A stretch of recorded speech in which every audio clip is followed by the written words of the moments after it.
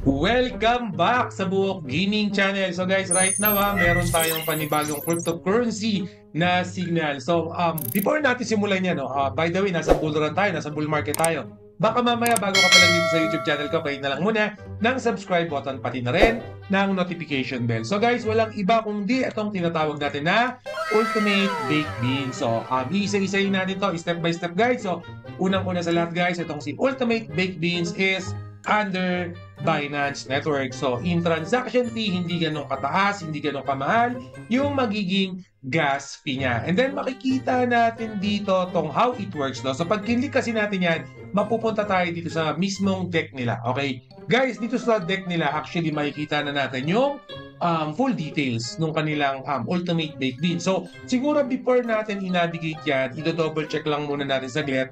Etong si CoinGecko. As mentioned kanina guys, ha, nasa bull market tayo. So kung check natin si Bitcoin right now, 3.4 million pesos per Bitcoin tayo. Followed by Ethereum na nasa 151,000 pesos. And syempre si BNB tumataas right now. Ha. Um, last night, nasa 30,000 lang yan. Ngayon, nasa 32,000 na po. Okay, Book Gaming, ba't pinakita mo sa amin yan? Ano yung method na tumataas yun? Kasi guys, kaya ako pinakita sa inyo yan Right now, itong si Ultimate Baked Beans, hindi pa libo-libo yung presyo. Okay, hindi pa ganun kamahal yung prices ni Ultimate Baked Bean kasi nga bago lang siya, nagsimula lang yung mismong launch date niya ng August 19. So bagong bago pa lang talaga no. And then yung mismong goal nila nung team nila and then uh, parang syempre gusto nila yung mga long term na um, procedure. Okay, hindi porket bumili tayo ng cryptocurrency, more or less i-hold lang natin yan. Dito kay Ultimate Baked Beans, meron silang tinatawag na utility. So yung mga cryptocurrency na to, meron tayong paggagamitan. Okay, pwede natin itong i-stake at the same time, yung mga yung mga ini-stake natin na yan na cryptocurrency, yan yung magtatrabaho para sa atin. So kahit natutulog tayo, nagkakaroon ng tubo, nagkakaroon ng kapital, yung cryptocurrency natin. And then yung mismong procedure niya, nung dinoble check naman natin, okay, similar lang din siya sa mga crypto mining nung before. Okay, yung gumagamit pa tayo ng mga video card, ng mga hardware parang ganun din yung gagawin natin staking procedure sa kanya. So, technically, um, in this generation, hindi na natin kailangan bumili pa ng mga expensive no, na video card, graphic card, no? Yung mga ganun. Dito kasi, automatic na network na yung magpo-provide ng um, tubo sa inyo, ng capital sa inyo, or ng profit sa inyo. So, again, malaking bagay. At the same time, syempre, syempre nakakatipid din tayo in terms of technology. Okay, pero dito kasi, since under Binance Smart Chain siya, we are expecting no na mas mababa, low gas fee yung pagbili or any transaction na gagawin natin. Alright? And then, meron, ito, ito, isa-isa natin saglit na. Ito yung key features niya. Book gaming, ano yung difference ni Ultimate Big Beans sa ibang cryptocurrency na na-review mo na dito sa YouTube channel natin. Yung fair lunch niya, similar lang naman sa iba. Pero good thing kasi pag naka-fair lunch siya, may araw siya kung kailan natin bibilin, may date yan kung kailan tayo tatalpak. So, ibig sabihin, lahat sabay-sabay pwedeng bumili. Okay, meron kasing ibang um, project, may ibang cryptocurrency na may tinatawag tayong seed round, may tinatawag tayong um, test round, yung mga ganun. So, minsan, yung mga ibang round na yan, parang level 1, level 2, level 3 round, hindi na, na hindi na na-announce sa ibang user yan. Okay, ma-announce na lang yan. For example, TGE na. Okay, so ibig sabihin, marami nang nakabili na mga insider. Okay, pag may fair lunch, ibig sabihin na lahat yan sabay-sabay. Okay? 40 uh, referral system. Ito, good thing sa mga wala pang pantalpak, wala pang puhunan.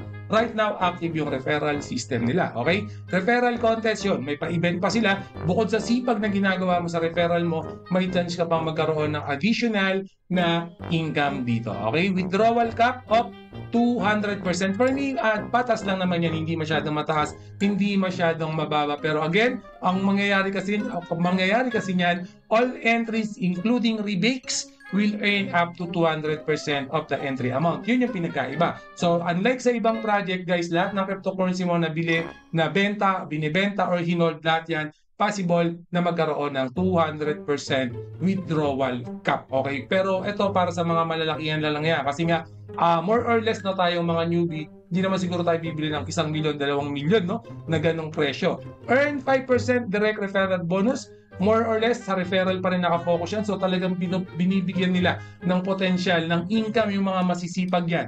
Anti-whale mechanism. So basahin ko tong anti-whale mechanism nila. User are limited to making of maximum of 15% of the contract balance per week. So 15%. Um, for, siguro sa akin, patas lang. Hindi, hindi, kumbaga, hindi talaga makakabili ng ganun kadami yung mga whale. Kasi alam niyo naman, pag yung mga whale na yan, bibili sila ng sobrang baba yung presyo, kaya maraming mahihikayat. No, kala ng iba, tumataas yung presyo, ayun pala meron lang palang whale na dumaan. And then pag tumaas yung presyo, ibibenta rin ulit nila. So anti-whale for me, it's a good feature lagi yan. Okay? Equal opportunity at lunch yun nga dahil sa fair lunch pa rin yan. Security assurance, the contract has been thoroughly audited by two independent auditor. Ano ba yung two independent auditor na yan? Check natin later. Immutable, once the contract is deployed, the admin has no control over it. The contract rules and functions are permanently fixed and cannot be altered. Kasi nabigyan na nga sila ng solid proof. Titingnan natin later. Earn 1% direct referral rebate bonus. Napakaswerte naman nung mga magre-refer dito kasi nga ang lalaki ng bonuses na pwede nyo makuha. Guys, meron silang frequently asked question. Actually, two page to. In this one, hindi na natin iisa-isa. Pero gusto ko lang pakita tong how much is the price of the top 4 winners. So, top 1, Top 1 equals 40%, top 2 30%, top 3 20%. And then lastly, yung top 4 10%. Ano ba yung mga percent na yan, Book Gaming? Yan lang po is yung total price pool. The prices can be withdrawn immediately after each cycle. All top 4 winner will be rewarded with BNB. So, itong frequently asked question, please pabasa yan. Dalawang page yan. Ito pa yung isang page. Okay, baka mamaya may mga katanungan kayo about dito kay Ultimate Baked Beans. Please, pabasa na lang to. And then, syempre, yung testing nila, lahat naman ng test result in uh, good manners, no, naka 100% yan. Hindi ko lang alam guys kung itong lahat ng testing na to, ito yung mga, ito na yung lahat. Pero kasi ito lang, parang ang pagkakaintindi ko, itong mga nandito, ito yung mga pumasa. Syempre may mga bumagsak din or nag-failed. Pero yung mga nilagay nila, nila, nila rito is yung mga pumasang testing nila. Alright?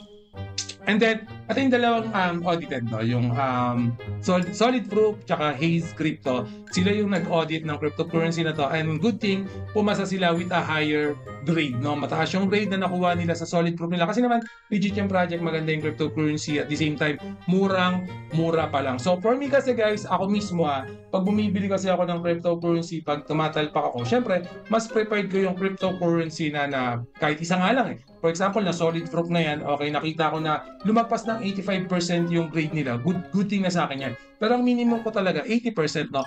80% pataas, good sa akin yan pagdating sa solid proof or any um, audited company dyan, auditing company dyan, okay? Pero 79% pababa, medyo tentative na ako pumasok dyan. Pero dito nga, no, kay Ultimate Baked, Bean, Beans, dalawang audit pa nag um, check sa kanila, dalawa mataas. Okay, 90 plus yan. Okay, mataas yung grade nila for this one. And then, for example, gusto nyo bumili, okay, mag-abangan nyo lang dito sa website nila. Lalagay ko naman dito yung um, full details sa website nila. So, make sure na interested kayo sa mga cryptocurrency, mura cryptocurrency, maganda yung potential.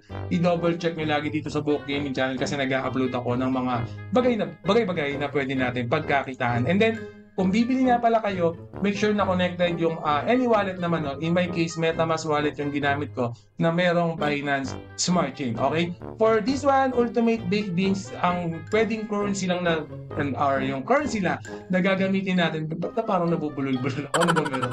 Yung currency na gagamitin natin is BNB. Okay? Binance yung gagamitin natin currency. Um, hindi pa supported yung USDT. So, kung bibili kayo nito, make sure na meron kayong um, BNB sa wallet nyo kasi ayun yung gagamitin natin na pambili for this one. Okay, so if may panibago tayong update para dito kay um, Ultimate Date i-update ko kagad kayo. Alright, and always remember, Book Gaming loves you all. See you again in my next video. Salamat!